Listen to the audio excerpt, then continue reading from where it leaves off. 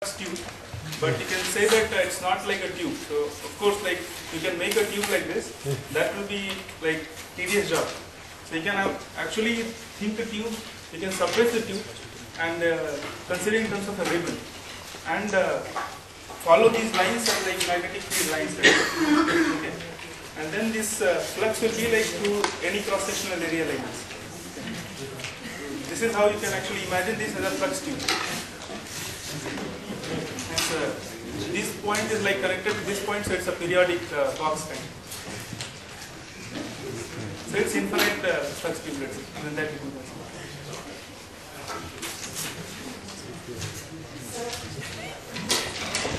Now it's something about orientability and non-orientable surface.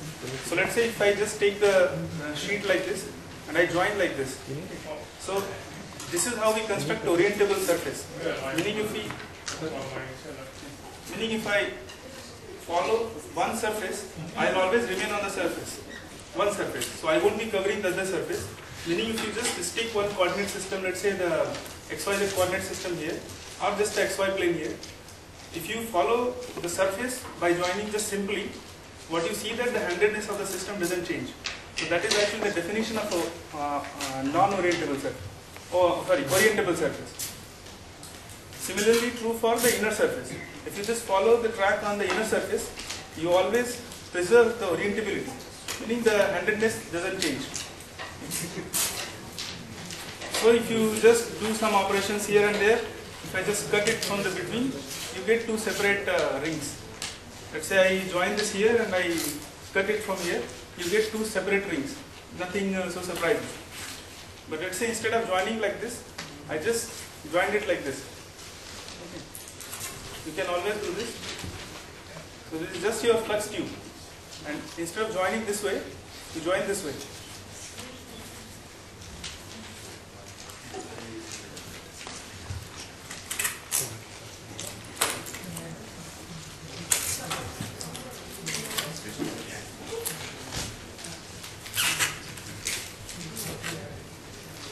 And we missed one, one more point which we had thought uh, regarding this ABC flow, which is uh, Arnold, Beltrami and Childress flow, which is actually a helical flow, which is a, um, uh, the flow itself is like very, it has a maximum helicity. So I'll just speak a few words on this ABC flow. But before that, like it's good to do this experiment. So if you join things like this, and now if you start following one surface, meaning you just start coloring it. Okay. What you see that you have covered both the surfaces. So it's a non-orientable surface. So if you start from one point with a right-handed uh, coordinate system, you go along the surface, then you come back, you see that your handedness of the system has changed. Then you get a left-handed uh, coordinate system. So that is a non-orientable surface. And this is called the Mobius strip. So it's the simplest one I can uh, just now make. Uh, you can actually think of in terms of Mobius volume also. Pictorial representation will be uh, something like this. Meaning you join these two the same way, but one as an opposite way. This is how you get the Mobius strip. Now it's your flux tube, non-orientable. And I start cutting it from between, let's say.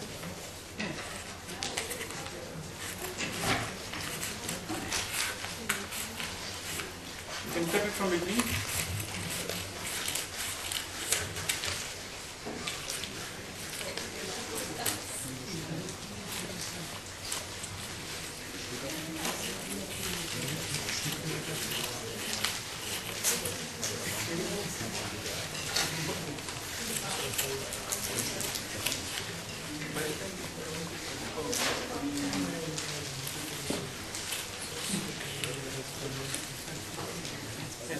After cutting that, you see that uh, you get another Mobius strip only.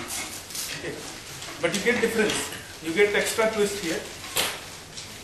And this ribbon, which has been cut once, which may look like a Mobius again, but now it has a memory that it has been cut once. Because it has now become a uh, orientable surface. If you now stick in a coordinate system at one surface, go along that, it is orientable surface. The handedness will not change. So just after doing one operation, which is an allowed operation, that uh, allowed operation meaning uh, non-allowed operation is field lines will not cross each other. By saying that what we mean is that we are in this limit, that uh, magnetic Reynolds number is very high. So field lines will not cross each other. Okay. But now we have cut it once. And this has got a Wait a minute, sir. Uh, Magnetic lines can never cross each other because magnetic field is unique, right?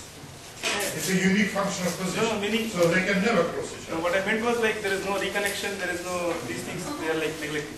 Yeah. Yeah. So now you have uh, another thing. Now what you do is uh, you cut it again.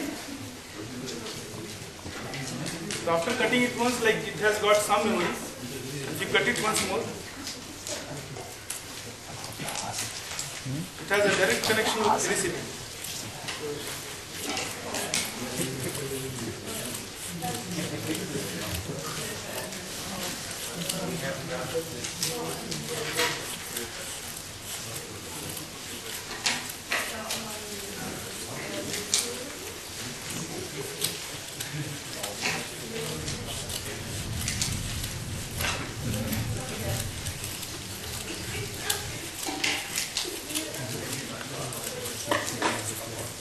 You can cut it once more.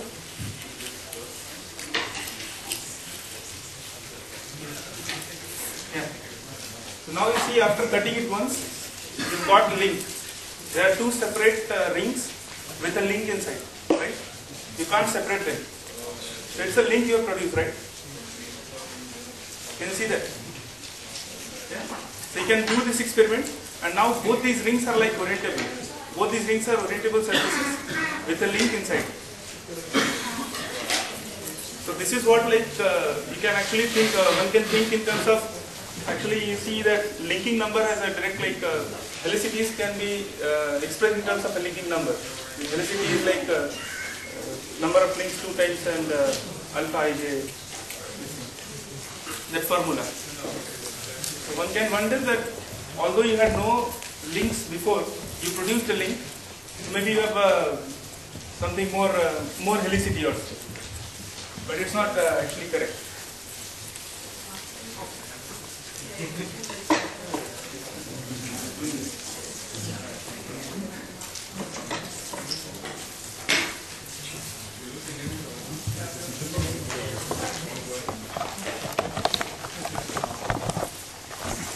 Wow.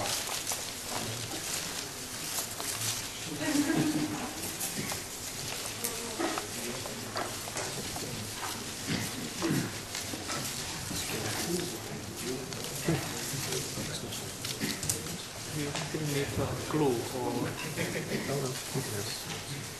Thank you.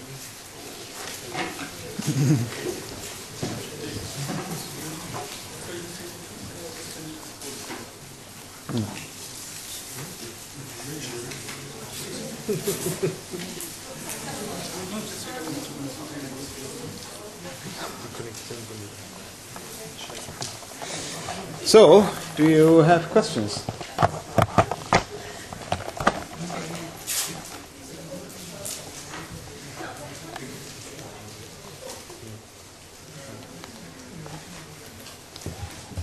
So the concept of an orientable surface is something which has apparently not really a direct analogy with magnetic fields. or does it?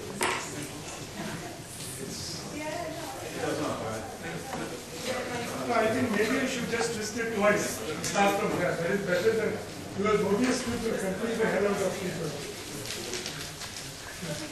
You do what? Will confuse you, Yes. confuse you because it's not orientable. But if you twist it twice, then you don't change the orientability. And you transfer the twist into the thing. Yeah, that's what happens early after first cut like. Yeah, yeah, I know, so you went, second step, you should start with that. And uh, actually, the more interesting thing would be to transfer the link to the twist. And that is required reconnection. Well, this can also do, there was a paper with a title Magnetic Helicity and Crystal Cerebrals. Where exactly people were doing this experiment. Having two rings of paper and then reconnecting them.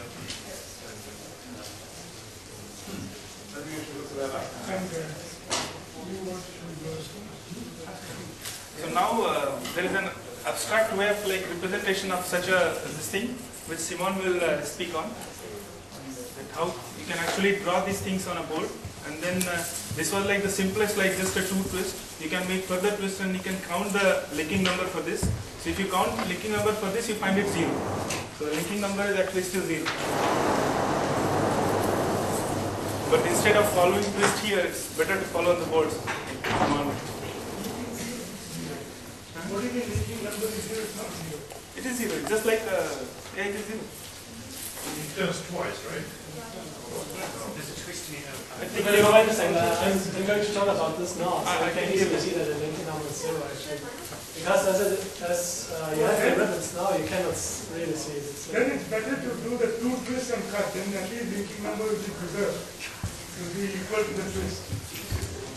because uh, you have but the twist. In this also twist has been increased. There are more twists than uh, earlier there was just one twist. Now there are more with than Now they're cutting. Huh? Yeah. So now you got more twists with the linking number zero. Although it looks like this.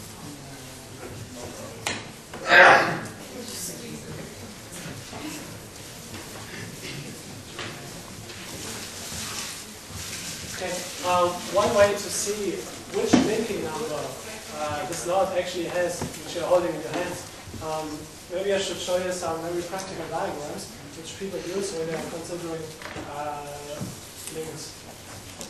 So um, uh, basically a very simple example is uh, um, two interlinked links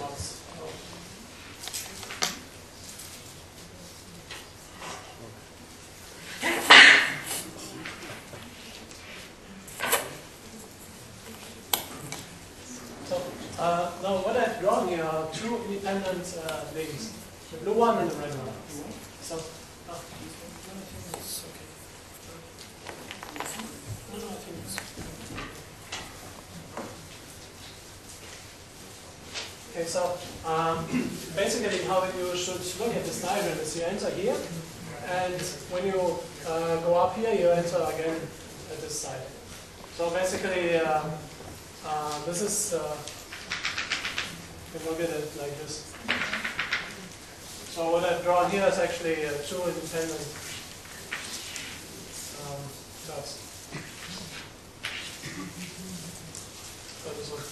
So in the same we are doing now for this uh, Möbius ribbon at the beginning. So uh, you draw lines on your Möbius strip like this, and then it is twisted by 180 degrees, which you can uh, show like this. And then it's okay. So if you go this way, you you um, get back to this one and and up here again. So here you can see actually the twisting by 180 degrees. Because before that you actually had only something like this. You started here and then it was uh, this relatively surface, but this one is not relative. So uh, what I'm showing you now are um, the cuts you have actually done with uh, this paper. So I'm drawing lines on the uh, strip, four lines.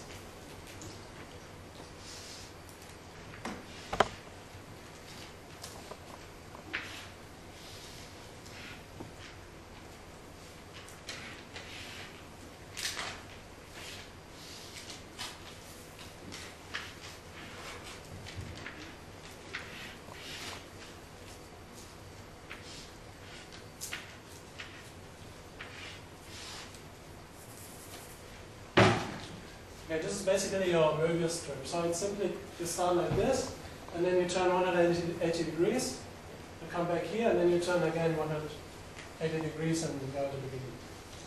So now you make one cut.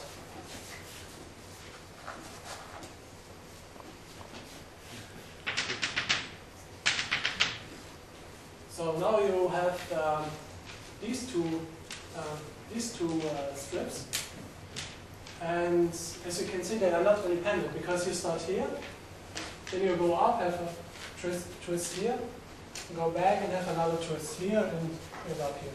So you can see that uh, this has two twists by 180 degrees, and um, it is only one you- when you make a second cut, each line is actually one uh, ribbon. Now you follow each line and you see that the blue one is independent of the red one. This was your second cut. And every cut reduces the flux by half. So you can count the fluxes and the number of this. That will be the third point.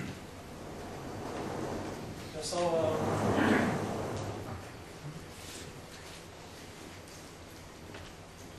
Okay.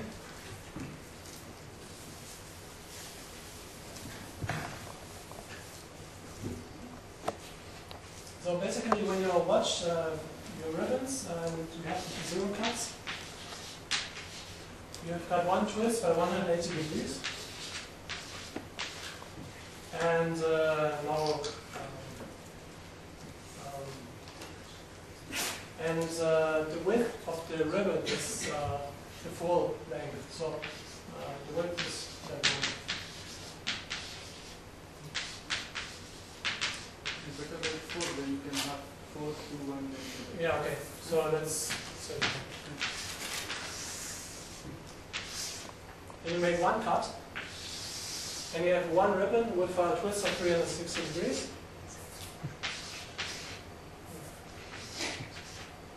Uh, but a width of only two. And then the last cut, second one, um, you have a width of only one, and uh, twist of 360 degrees. But you've got two of those. So when you do down some math, you just multiply uh, those 180 degrees and 4. And uh, what did you get? 720. You keep it same with it. And it's the same everywhere. So, um, and since the twisting is the same as, well, in helicity terms speaking, it's the same as uh, linking, uh, the helicity is all the same in all those um, uh, cases. And uh, since the helicity comes only from the twisting, the linking number is zero. But I hope this was somewhat clear. Yeah. You can, you can write this one in a more easy way.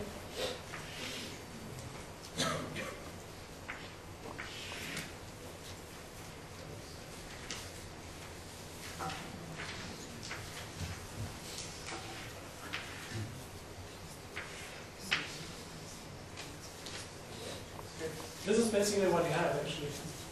And when you count here, you get uh, something like plus, plus, and minus, minus, and it's all up to zero.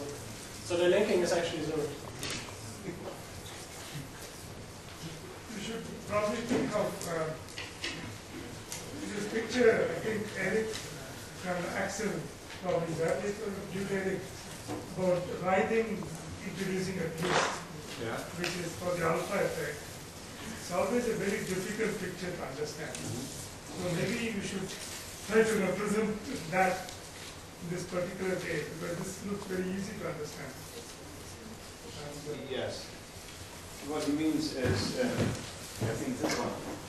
You take the flat thing, I think we need to cut it uh, like this. And we put, and then we tilt it, right? That's the idea. Yeah, And then we want to calculate the helicity. But of course, that, that net one should be zero. yes, it's zero and then it has gone partly into twist. Yes, exactly. And you, can you uh, demonstrate the difference between, so you would expect that you have generated right in this operation, and this can only happen at the expense of producing twist at the, with the same value but opposite sign. Actually, you Yeah, can see of that. course. I have a, I have Yes. a demonstration of that. Yes, the demonstration,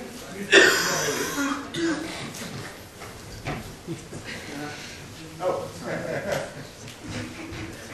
Is that your thing seven, yeah? Huh? No, no, no, no. It's just experimental physics.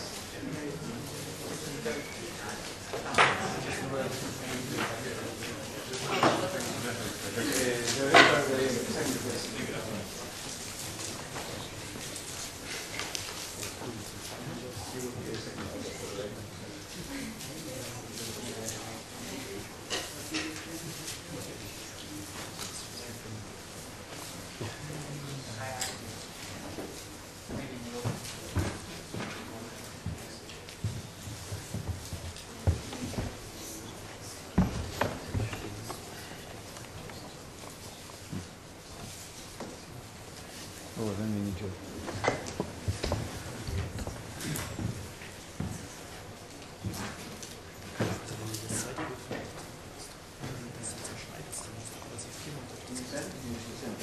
Ah, Yes, he actually made photographs. Right? Yes, no, it's It's not a snake. of, the, of his pipe work from his home. Is that right? Yes, yes, these are real photographs of real objects. No picture.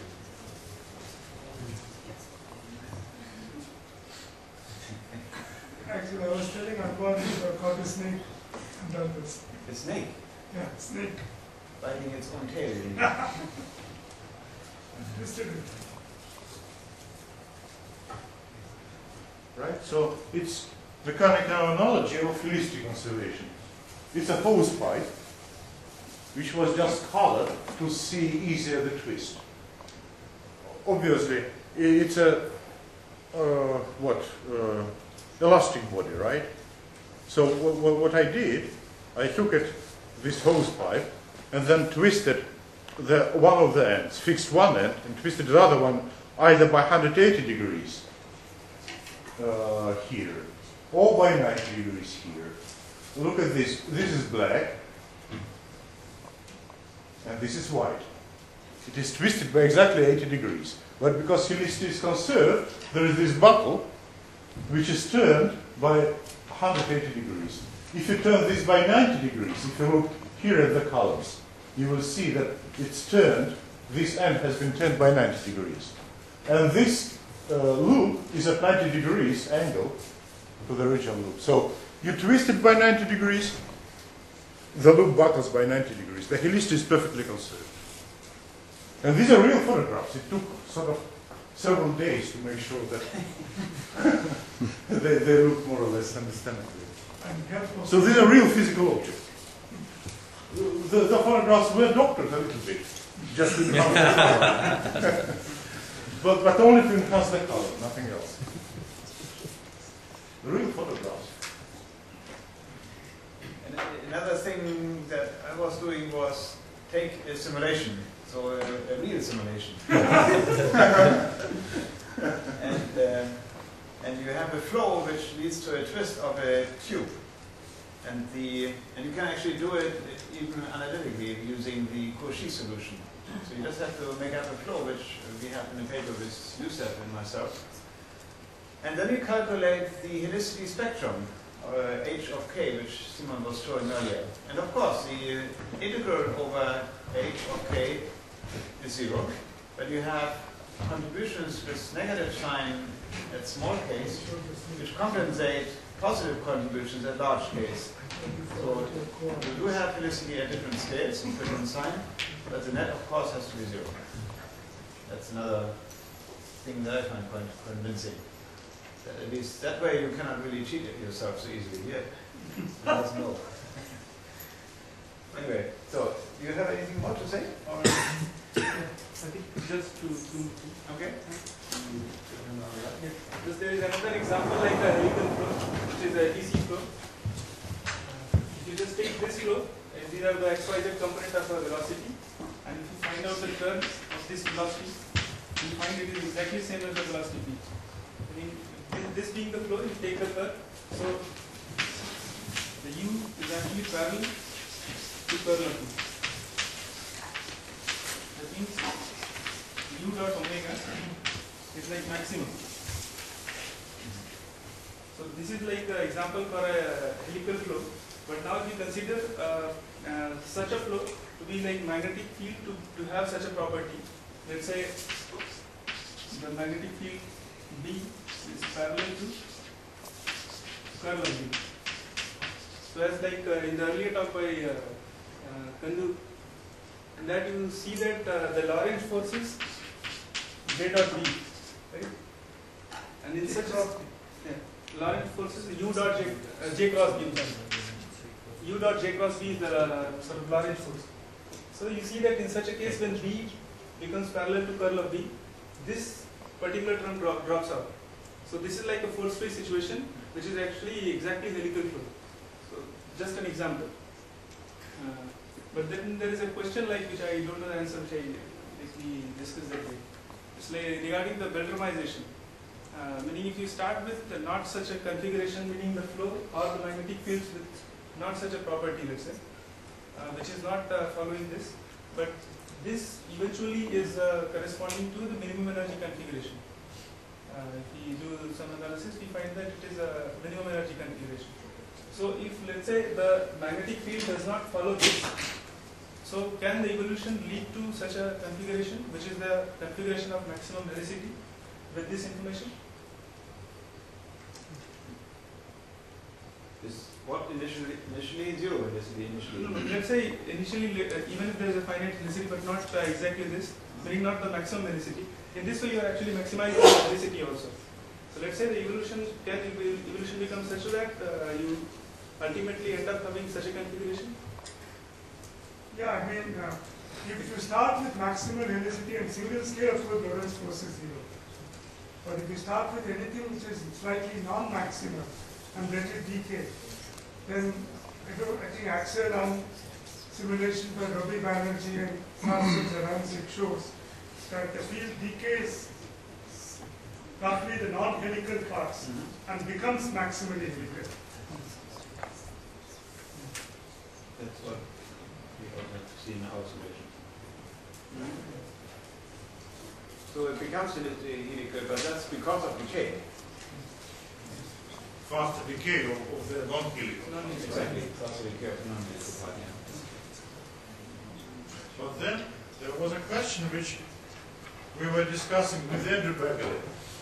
Uh, imagine, for example, that you have a small-scale dynamo.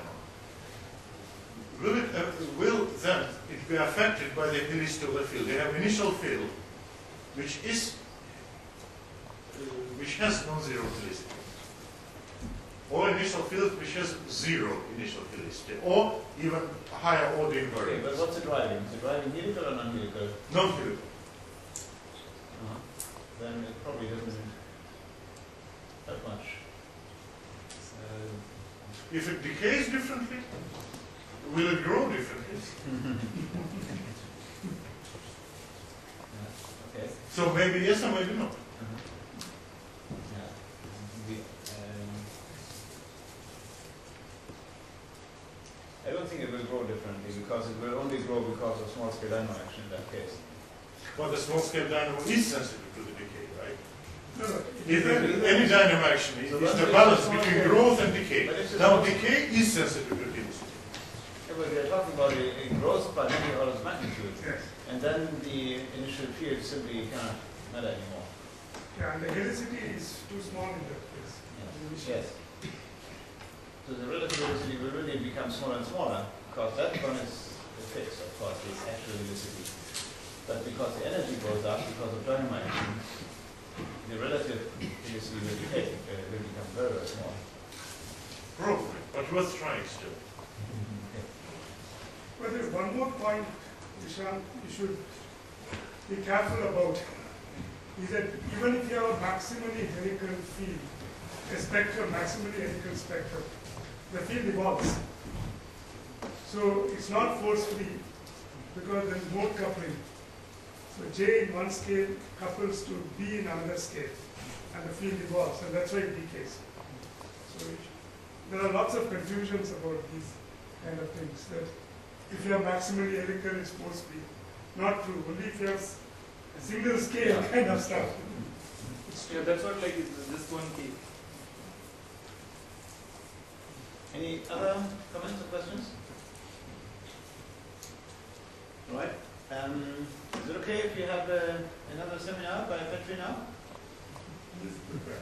I don't think we're be so long, right? Not like this one. Well, I have 60 minutes power on my laptop, so that's the problem. Okay. I will take my. Okay, so let's prepare for another seminar then. Thanks again for sitting.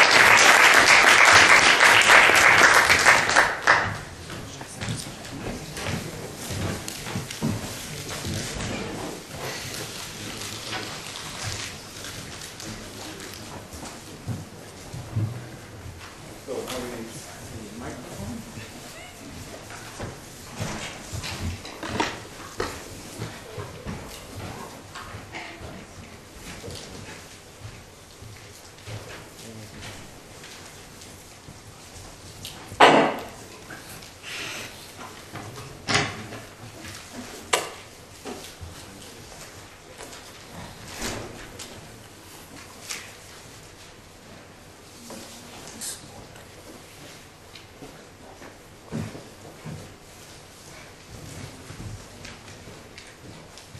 So, I will be talking about convection simulations, numerical convection simulations. And uh, this is a bit more like a uh, talk in a uh, conference, so there might be some material which is not being gone through uh, with everybody, but then I can only encourage some people, some godfathers of these methods to give seminars of their own later on. And uh, what I'm mostly interested is large-scale dynamos in convection simulations. And what the large-scale dynamo is, is that we have, uh, like Kandu explained in his talk, that we have magnetic fields uh, whose uh, length scale is uh, significantly larger than the length scale of the typ- typical turbulent eddies. And uh, why convection is interesting is, of course, uh, fact that uh, we know that the outer layers of the sun are convectively unstable. So uh, the outermost 30% of the solar, solar radius are convectively unstable, which means that fluid motions are transporting the energy. And uh, we are not, first approximation, not trying to do the sun, nowhere near actually, as we shall see. So we take just a Cartesian box where we solve uh, the equations of compressible magnetohydrodynamics. Then we have a bunch of parameters here which describe rotation, shear flow, then Reynolds number, which is should be familiar by now, and uh, then we have the Prandtl number, which all of these parameters are essentially then bounded by the limited computational facilities that we have at our disposal. And I liked the way Kandu described helical motion. He said that you have to have a screw-like motion. And uh, convection by itself, without any con- uh, rotation or shear, is not yet screwed up. So we have to screw it up with rotation or shear or both. And uh, why we do this is that we want to make the flow helical. And uh, again, in Kandu's talk, he showed that when we have helically forced turbulence, then we can have these large-scale magnetic fields. And uh, another aspect here which helps, of course, is shear, which can uh, just uh, stretch stretch field lines uh, and then put energy into them. And this is just an animation of one of our simulations. We have constant heat input from below, then we have a convectively stable layer, and on top of that we have a convection zone. And uh, this all seems very nice. We can do lots of things with this, but uh, unfortunately nothing realistic. This is a table that I compiled for my PhD thesis a few years ago, and here we have some of the same dimensions parameters and what we estimate them to be in the sun, and then what we can realistically do with our direct simulations. And you see that an overwhelming majority of these parameters are well beyond our reach at the moment. But what we can do actually is we can more or less correctly model the rotational influence on the flow. And uh, for the rest, we just have to do the best we can at the moment. So that's a word of warning. And when we have this setup where we have Put out this light. or- Sorry. Which one is it?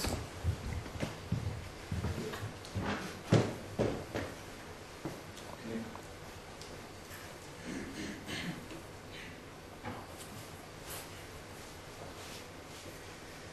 Okay, so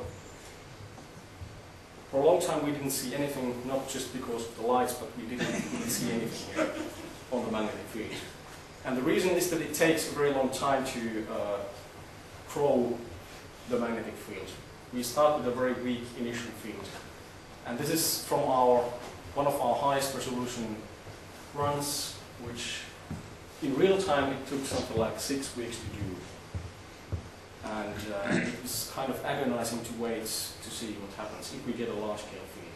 Because in the beginning, we do have a fluctuation dynamo here, so all the magnetic fields are just this uh, small scale. Yes, What is the numerical resolution? that's 512 huge. And uh, here you see the same simulation, but here we have a horizontally averaged magnetic field. The horizontal components of this, of the magnetic field. Z component is uh, vanishing due to the horizontally uh, periodic boundaries. And we see that only after long enough time we do see a clear signal, signal in the average field. And uh, we see that uh, this is for much lower Reynolds numbers, these results. We see that the growth rate of the magnetic field is proportional to the shear rate, at least for slow shear. Then for large shear, something happens that uh, decreases the growth rate. And uh, one of the main things in this study was to uh, determine whether we can have simultaneously a small scale dynamo and a large scale dynamo. And we can, of course, or that's how, that's our understanding at the moment. So a small scale dynamo doesn't kill off a large scale dynamo. But of course, our Reynolds number here is very low compared to the sun. It's not 10 to 9, what we would have to have in the sun. This is something like uh, 120 in our units in this particular case. And 120 may sound low, but our definition is such that we always get 2 pi less than everybody else. So what's the magnetic diffusion time in those units for that picture? Uh, magnetic diffusion time. Uh, that's, I can't tell an exact number, but it's of the order of 50 to 100 times. So those blue and yellow things are coming in at about four or five diffusion times. Um, yeah, of that order of magnitude. So the five, the 400 on the butterfly diagram uh, then probably corresponds to four diffusion time, given that the Reynolds number is 100. Yeah, that's. So the whole run is a few is four diffusion times. Okay, so one of the things here is that you really need to run these simulations for a very long time to see a large scale field, or any field in, in fact. Okay, then here are some things that I will not cover. One of them is the test field method with which you can compute turbulent transport coefficients that you can use in your mean field theory. And uh, like we learned in Kandu's talk, one figure is worth a thousand words and then one equation is worth a thousand figures. So these two equations speak volumes here. Uh, I wasn't at Karl Heinz's lecture, so maybe even this one here is not defined. So this epsilon here is just uh, the average of uh, small scale velocity across small scale magnetic field, what we call the electromotive force, and the electromotive force goes into the mean field induction equation that we have. Now this bar here is not signifying that this is a vector, but the mean value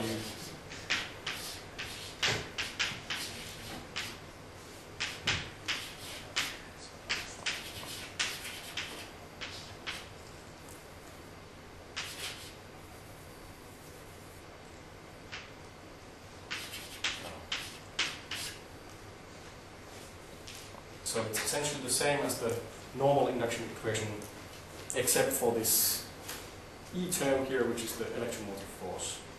And uh, in order, order to close our equations, we need to somehow express the electromotive force in terms of the large-scale magnetic field. And actually, this is a series expansion that you, you can have in the large-scale magnetic field. And usually, we don't deal with uh, terms that are higher than first order in the derivatives.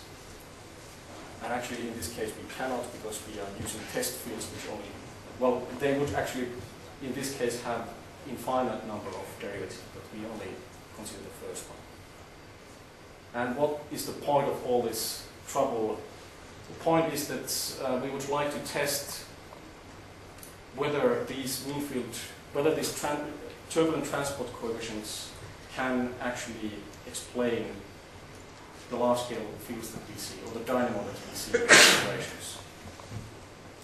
And uh, the way to test it is that we take these coefficients, the most important here are the alpha coefficients, these two, and then the diffusion, turbulent diffusion here.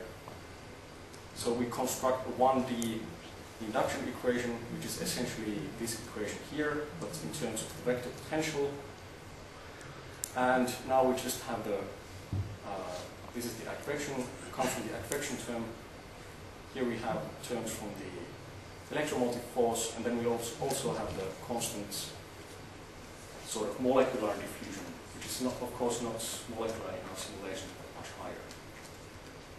And uh, what we find in some cases, in this particular case where we have both rotation and shear, we find that our simulation results fall quite nicely on top of this topmost line here, which is, uh, this is now the growth rate of the magnetic field, where we use the full alpha ij and beta ij tensors. These are four tensor components in this case, showing that we can successfully reproduce our full 3D results with 1D mean field model. This is not always the case, but this is uh, the best case scenario that we drop rotation in this case, then we also change our co coefficients here, and then we cannot really find a nice fit any longer. But this we can we can actually explain away, at least qualitatively, if not quantitatively at the moment, because a large-scale dynamo can be also excited if this coefficient here is zero, the mean of this coefficient is zero. But if, if it has large enough fluctuations in time and space, then it can also drive a dynamo. And this is something that our method here doesn't capture, and this is what we uh, think that could explain the, uh, the situation in if rotation is inflated. Now, all of this was done when we have both rotation, or we always have shear, and shear is known to be beneficial for dynamo action, and shear can actually be the sole driver of dynamo action. This has been uh, shown with numerical simulations of a slightly different, a more simple setup where we have forced turbulence, non-helically forced turbulence, and imposed shear. So the really uh, what we can call crucial experiment is that we only have rotation in our system, which would mean that we can only produce the large scale magnetic field by the alpha effect. And uh, at least when we started, we thought that, or there wasn't really too many such simulations available. And this was uh, basically in the astrophysical community, we didn't know about this, but uh, later we found out that in the geodynamo community, these were actually known for at least a decade now. And uh, still there was uh, a big debate because uh, these dynamos were not observed and then there were also contradicting uh, results for the alpha effect from rotating convection. There were people who were saying that this is zero, and then there, there was us saying that it's uh, definitely not zero. And uh, it all boils down, down to the method by which you compute your turbulent transport coefficients and how careful you are when you, you, you are using these methods. And uh, maybe now it would be good to uh, suggest that Axel or Karl Heinz or somebody could give some kind of an introduction to different methods of computing turbulent transport coefficients. We have that on Wednesday uh, next week. Uh, Matthias will give a thorough lecture on that, but that's Okay. a bit late, and it's actually very thorough and it advanced. Okay, good. It's similar set. Okay, so what we were doing, we were using test field method and then ramping up our rotation rate. And uh, this was just to just to do a parameter study at first place, just to see what happens when rotation increases. And uh, what really struck me in this figure is that when rotation is increased, then the alpha effect increases monotonically. And at the same time, the turbulent diffusion decreases monotonically. And then the obvious question is, well, what happens to the large-scale dynamo? Because essentially, what determines whether you have a dynamo or not, a large-scale dynamo, is uh, the ratio of alpha and uh, eta. So we see alpha going up, eta going down, then we should see a large-scale dynamo in this same parameter range. And that's exactly what we see, actually, which was quite a, uh, an illuminating experience for me, at least. We see something which is, uh, well, that the theory predicts that you should see a large-scale dynamo. And then we do the direct simulation and we do see a large-scale magnetic field developing. It's not as clear as in the case of shear, because now actually the box is also bigger, and now we have much more convection cells here. But when we look at the spectra, then we, this is the velocity spectra, so uh, this is where the kinetic energy, energy peaks. This is essentially the size of our convective eddies here. And in the saturated state, we always see that the magnetic field tends to peak at the largest possible scale. So, and another thing here is that, that when we increase the uh, box size, then we increase our uh, scale of separation, uh, which means that we have uh, more eddies in comparison to our system size, and uh, it's not so clear here, but it might be might be also beneficial for our large scale dynamo. So there are no um, helicity fluxes and nothing right here. Yes, there are. We are using vertical field conditions. So we do have, uh, we do allow helicity flux to escape the system. Actually, in this case, we also did the case where we don't allow helicity flux. We still found a large dynamo. And actually, I omitted one slide from our latest paper where we were doing a systematic study as a function of the Reynolds number. What happens if we allow or we don't allow magnetic helicity fluxes. And uh, we don't see a qualitative difference in the excitation of the dynamo, but in the saturated state we see very big differences. So if we allow magnetic helicity flux to escape, then we see that the saturation level of the magnetic field is essentially constant with Reynolds number. But uh, if we don't allow magnetic helicity flux, then we see uh, an Rm2 minus 1 behavior as a function of Reynolds number, magnetic Reynolds number. And uh, this we take as an indication of the importance of magnetic helicity conservation. Okay, so we just, sorry, uh, Bertie, we just uh, rotation and convection. So the Yeah, no helicity shear. flux has not been calculated in this. yes, that's true. So we don't actually know whether there is a flux. We just know that we can, by changing the boundary conditions, we can Yes. allow or disallow it. Okay. So we don't actually know whether there is a significant magnetic helicity flux. in No, that it case. it may exist, only thing I'm saying that we don't know the expression for such a thing. Right. Okay, so it's very nice to use these Cartesian models to study whether we have a dynamo and when we can have a dynamo, but there is a slight problem when compared to real stars, because real stars are not periodic boxes, and all sorts of different phenomena can occur in spherical geometry. For example, we can, or we will have uh, the large-scale shear uh, generated uh, self-consistently in spherical coordinates and not We don't have to impose it then by hand. And uh, but there are also problems with these full shell simulations. Here are a couple of examples, or one example from Brown et al. And uh, it's possible now to, with these models, to reproduce the solar internal rotation profile, although not entirely self, self-consistently, because here they have actually imposed uh, tachocline, and they also have to impose temperature difference at the base of the convection zone to get the rotation profile right. Uh, and another problem in these models is that while they do get a large-scale magnetic field, it's mostly confined in the overshoot layer below the convection zone, and it doesn't show any oscillations.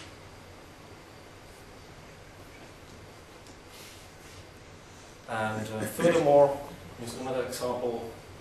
This is a bit more rapidly rotating star. There you can actually see also in the convection zone large-scale magnetic fields. But it again seems that they are confined near to the equator. We don't know how realistic this is in comparison to stars, but yes. do you know if those codes include magnetic buoyancy or um, meridional velocity flows? I mean those. Uh, I mean those are there when you have. I mean they are solving the full MHD equations, so those effects are included. That magnetic buoyancy is normally never found to be important compared to the uh, downward pumping effect that you also see at the same time. So magnetic structures, if they are buoyant, they become weak because they expand. And then they become very subdominant compared to those structures that are actually transported downwards and get concentrated. But they, ca- they cannot be brought up by meridional velocity near the equator? They Yeah, can they, be brought they up, can but be, but uh, usually disappear. it's very difficult to, I mean, a lot of mean field modeling of the solar magnetic field is based on flux transport diagrams, which really rely on the meridional flow. But uh, such flow is uh, quite difficult actually to get from this sort of direct simulations. So in principle they can be there, but uh, it's not, it's non-trivial to get them. So we don't actually know, also for the sun, we don't know what happens below something like 20 millimeters. We don't know how the meridional flow looks like. So then if we look at the sun, where the sunspots occur, we see that they are also concentrated near the equator, plus minus uh, 40 degrees at most.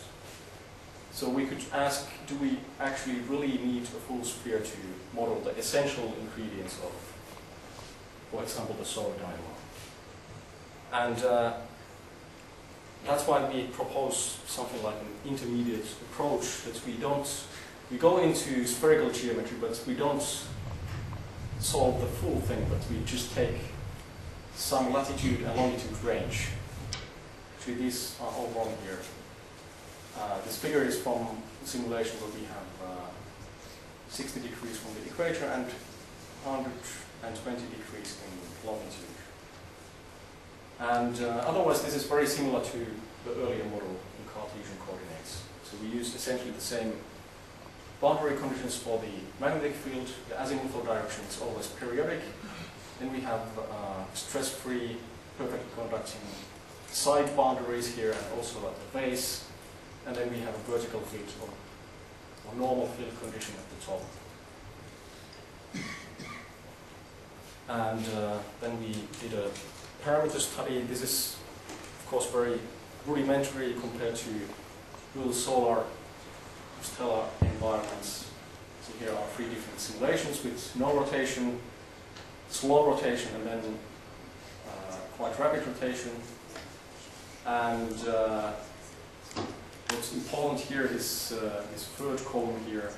We see the rotation profile. When we have no rotation, we cannot expect to find different rotation either, which is good. And then with slow rotation, we have a slowly rotating equator and rapidly rotating poles, which is not yet being observed in the Sun. And once we ramp up the rotation enough, we also find a rapidly rotating equator, where we see that the uh, features here are all aligned with the rotation vector, which is due to the Taylor-Proudman balance that's uh, is not realized in the sun. But uh, our simulation is not uh, not yet uh, quite there yet. We have to do some tricks, like like the other other people in the field, to get the rotation profile right, most likely. And uh, furthermore, what we see here, this is another kinetic helicity that can be in simple situations related to the alpha effect by this guy here. So we have a negative kinetic helicity in the northern hemisphere. So we should expect a positive alpha effect. And uh, when we also have a positive radial differential rotation, we should expect a dynamo wave which propagates towards poles. And uh, this is what we see. If you look at the right figure here, so first we see blue patch at high latitudes, now it's replaced by a yellow one, and another blue one is here emerging near the equator.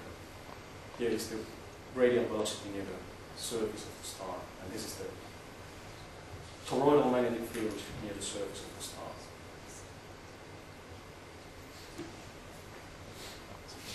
And uh, then we can look at the butterfly diagrams. So here we have radial, latitudinal, and toroidal component of the field. Now I can remember at which depth, probably close to the surface. Yes, close to the surface. And here we have the toroidal field at different depths. And uh, what we see clearly here is that it seems one hemisphere seems to be stronger at all times. And that at deeper layers we have a magnetic field that varies on a much longer time than uh, the field near, near the surface. And uh, so, such hemispherical dynamos have been seen by, for example, Fritz Busse in rapidly rotating uh, full spheres actually, and uh, we think that this is the same mechanism that's, that was working there. What would happen if, can, can the coupling between hemispheres uh, increase by increasing the diffusivity? So the things get together on the equator plane?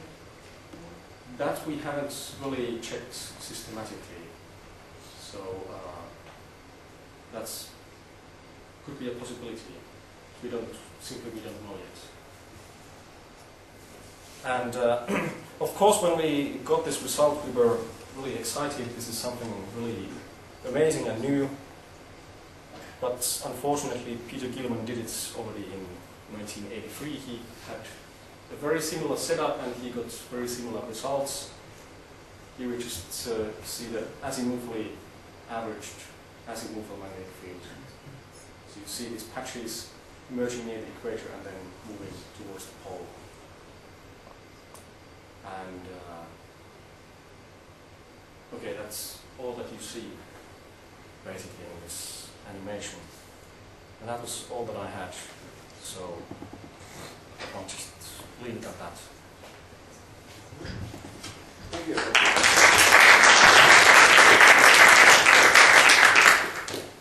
Questions, please. Anva? If in the presence of shear, convection or turbulence unavoidably become anisotropic, right? Right. Does it play any role apart from just obvious fact that it will be an alpha tensor and an eta tensor? Uh, does it help the dynamo action? Is it does it make any difference? No difference. You mean the anisotropic? Ani- Anisotropy, yes.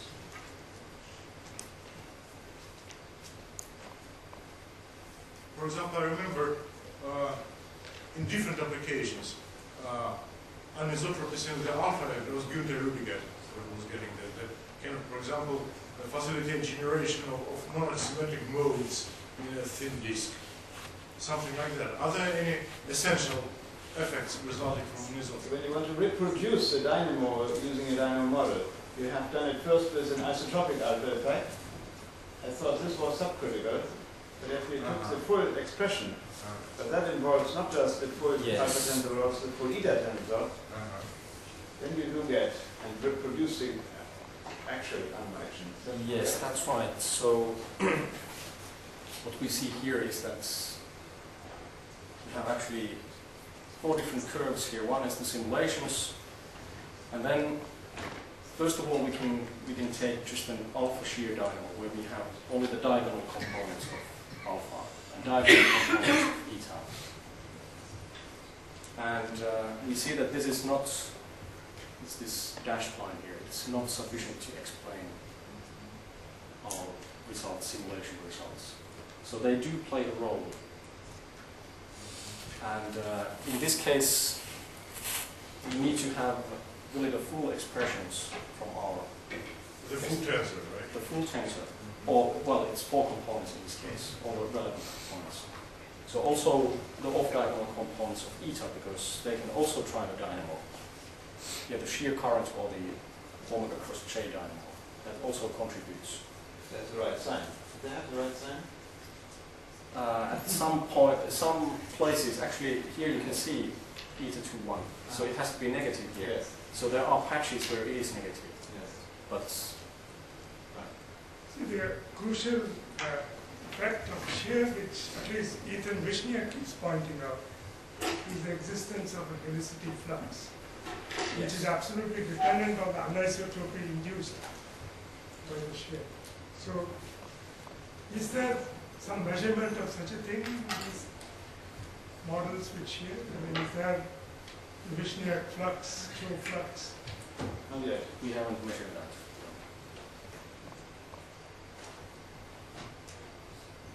I mean, it may be that that is the thing which keeps the alpha alive, but I don't know, you know, it's, it's a, Yeah, but he, I mean, he has also dynamos, of course, with just uh, without shear. yes. Then you have a different flux, of course. And then, of course, it's really not that. uh, Yes, it's- then it's really not that. I'm just thinking of Anvar's thing about the role of shear. Yeah, that's of course one important, important part. Yeah, we are just really in the process of learning how to measure magnetic fluxes in a good way, of course, which are normally gauge dependent, so we need to understand everything. We are good track here. Yeah, any other question? Yes, please. Um, using those simulations, can you spot any, you can spot the sources of toroidal and poloidal flux, of toroidal, where the poloidal and toroidal field are produced, right? Well, uh, we can't really point at one, one place and say that here, Yeah, I, mean, in the bulk of the convection zone, top, of. well, okay, that's, uh, uh, then you should look at where, where our coefficients, what kind of profiles they have. So, course, uh, the alpha effect is uh, strongest in the convection zone, where we have turbulence. And uh, of course, in these models, the shear flow works everywhere, also in the stable layer where we don't have any convection. I was asking this because um, I remember to see papers from Paul Charbonneau, and that he uh, uses an alpha effect in the in the base of the shear. So due to uh, helical currents, and I, I didn't quite understand that, and I wanted to see if, if those full uh, MHD uh, simulations could, could spot that, that alpha production on, on the base of the convection zone. I think you're talking about the Parker interface dynamo that he was modeling. Is that correct? Yes, I think so. Yeah. So the, should I say something about the Parker? So the Parker interface dynamo, I think, uh, was invented. So first of all, what it means is there is a separation in the layer where alpha works, namely alpha works in the convection zone, but the shear works mostly below the convection zone. In addition, there was a, yes, and that's uh, the, the location where there's a small eta as well. And so therefore the shear operates, uh, has very strong effect in the overshoot layer. Um, the reason why uh, one was placing alpha above the convection zone is because, or in the convection zone, whereas most of the toroidal field would be generated beneath, is because it was thought that uh, alpha quenching, in particular catastrophic alpha quenching, is really a local phenomenon. And so if uh, alpha, if the field is strong beneath the convection zone, but there's no alpha, then you have nothing to quench. That's a naive idea. But that's not really correct because the new understanding is that if you have quenching, what it really means is you are actually producing an alpha effect, but of the opposite sign, which could counteract an existing alpha effect. But uh, if there is none, it would still produce an alpha effect with the opposite sign in such a way that the total magnetic helicity is attempted to be conserved. And so this idea that you, uh, that you think nothing can be quenched if there isn't anything to quench, that's not correct. And so that, uh, much of the foundation of, uh, of that is, I believe, no longer really founded. Uh, so that was the reason for such a setup, and I don't think, uh, I mean, you obviously don't have such a setup because he says he has shear uniformly through the entire domain by construction in the Cartesian simulations. You have, of course, the, the spherical simulations, there shear is not imposed. Shear, there shear Yeah, the shear arises uh, self-consistently, but there we haven't really uh, been able to do an ana- analysis of the turbulent transport coefficients yet. Because we don't have a test field method in, in spherical coordinates yet. But that's definitely something that we plan to do. But she- And another question, these coefficients when you determine, you probably can determine, you will be determining it as a function of time, right? Are, Yes. are they the same when the field, mean field was weak and when the mean field becomes stronger? These were, okay, uh, At the- what time does this refer to when you're, These are taken from a kinematic simulation, so we don't have a mean field in acting upon our velocity field. So these are purely kinematic coefficients. And that was, of course, in order to address the question whether you can explain the excitation of an alpha square dynamo at all, contrary to common belief at that time. Yeah, so we didn't try to do a mean field model of the nonlinear stage of the simulation. yeah, that's fine, that's okay. But, um, so you're still solving the test field equations in this, in, at times when the field had not yet grown sufficiently, is that, is that what you're saying? Uh, there, there is no field essentially in this simulation except for the test fields. Um, the velocity field is not you're- affected. You're explaining using these coefficients what you see in the simulation, right?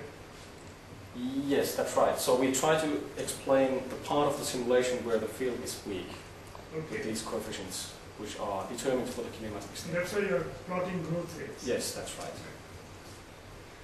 And I still got confused, what are the different curves? Okay, You cut so off some pieces of the, okay, so there's just uh, that we drop some components of alpha and beta in each of these. This one curve here is the simulations, right, and then we have the curve where we have all the coefficients included in our mean field model. Then we have a model where we drop the off-diagonal components of alpha and eta. And then thirdly, we have a model where we drop all the alpha coefficients and only use uh, the eta tensor. So the off-diagonal components of eta do actually uh, are able to uh, drive a dynamo here for these three points. Omega cross J, I mean. Yes, omega cross J and then also shear current because this is for the case where we have shear and rotation. So we can't really distinguish between these two effects.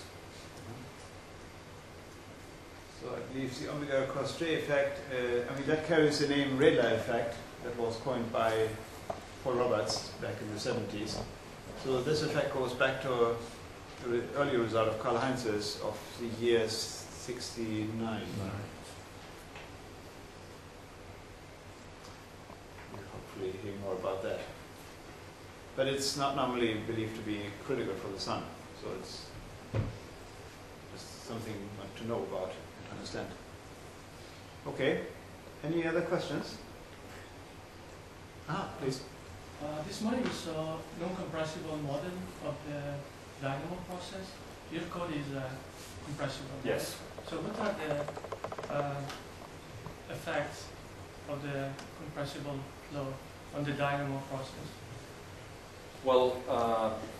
In our case, we expect uh, compressibility to play a minor role because the Mach number is still fairly small, of the order of 0.1 at most. I can say one thing, uh, the so-called small-scale dynamo, we do know has uh, feels an adverse effect from large Mach numbers. So if you make the Mach number bigger than one, the uh, threshold for dynamo action becomes higher by a factor of about two, and then about uh, then it stays about constant again. Then it doesn't matter whether you have a Mach number one or five or bigger than that, perhaps. That's what we know for the small scale dynamo. For the large scale dynamo, we expect essentially no dependence. But that has never been looked at carefully. Any other questions? That's not the case, then let's thank Petri again. So this has been a long day, of course, for all of you.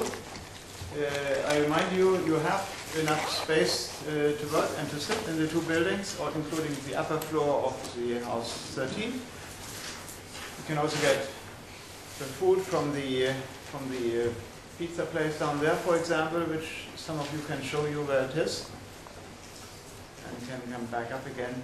There's also an ICA shop and a supermarket uh, that's opposite to that place. So it's just down when you go to, down to Birger Jarlsgatan. Okay, otherwise we see you again at 9 o'clock in the morning. Shall we begin nine thirty? Okay, 9 o'clock. Was there a question?